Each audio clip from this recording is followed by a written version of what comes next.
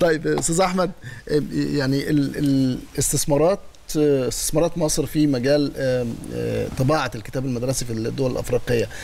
هل برضه هنعتبرها زي ما حضرتك قلت يعني تبادل خبرة مش تبادل تجاري؟ لا أنا هقول لحضرتك حاجة. هو من الحاجات اللي ممكن آه، آه، فتح افواق أسواق تصديرية ليها هي هيكون موضوع الكتاب وال- والأدوات المكتبية زي ما قلت لحضرتك أو اللي هي الكشكول والكراسه. والحاجات اللي اللي هي استخدامات الطلبة يعني في المدارس آه، ولكن برضو زي ما زي ما قلت لحضرتك في الأول أنت بتنافس دلوقتي مش بتنافس آه، الدول الأفريقية لا مم. أنت بتنافس دول كبيرة عندها آه، نظام تصنيعي وتصديري مختلف عنك. تماما وليكن بالتحديد في في مجال الكتاب المدرسي هو الصين والهند آه، عندهم نوع من أنواع السيطرة كاملة جدا في في الدول الأفريقية. زائد إن هي كمان آه، عشان برضو يعني نتكلم صح إن معظم الدول دي بتعتمد على نظام المعونات.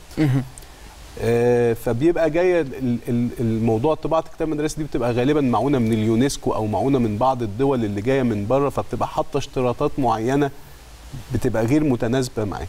فإحنا عشان كده آه، آه، التفكير في إنك أنت تعمل استثمار في أفريقيا آه، هو التفكير الأقرب لينا أو على الأقل يبقى عندك يعني بالنسبة للورق ومواد التغليف يبقى عندك مركز لوجستي موجود في الدولة دي لأن هو الأفارقة دائما بيميلوا إن هم يشوفوا المنتج ما بيشتروش آه، زي ما بالمثل الشعبي اللي هو سمك في مية وحاجات زي كده لا هو هو ميال إنه يشوف المنتج قدام عينيه ويبقى البضاعة موجودة وحاضره إنما ال ال التفكير الأكبر ال- بالنسبة للكتاب المدرسي استثمار وخاصه إن إحنا عندنا خبرة كبيرة جدا في هذا الموضوع. عندنا استثمارات already في مصر شبه بدأت تخش إنها تبقى معطلة شوية لأن نتيجة إن إحنا دلوقتي بدأنا نتجه للنظام. الإلكتروني آه. والتابلت والحاجات زي كده فطبعا الاستثمارات اللي اتعملت هنا دي ممكن إنها تبقى معطلة شوية. فممكن وهناك نقل- في الدول الأفريقية لا لسه لسه لسه ما- ما, زالوا بي- بيعتمدوا على الكتاب المدرسي العادي التقليدي لأن مش مش تابلت مش يعني وخلي بالك حضرتك ان في دول مثلا آه،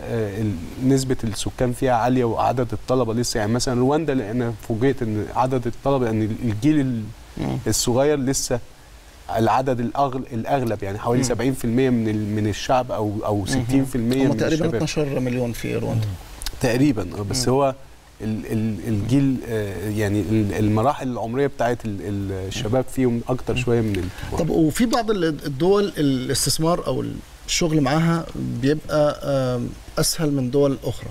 آه، بمعنى إنه آه، مثلا على سبيل المثال رواندا اللي أنا أسمعه عن رواندا إنه بيشجعوا الاستثمار جدا, جدا. محبين جدا لمصر. كل الدول آه. معظم الدول الأفريقية عشان. بس نبقى متفقين محبين جدا لمصر بنسمع كلام غريب يقول لك إحنا بنشرب من كوباية مية واحدة وازاي ان. إحنا آه، آه، ما بقاش في ما بيننا وما بين بعض علاقة كان في فترة زي ما حضرتك أشرت في في المقدمة اللي هي فترة كان بيحسوا انك انت بتبص لهم ب- ب- نظرة ب- فوقية بنظرة فوقية صحيح. شوية لازم تلغي الفكرة دي بالنسبة لهم يعني.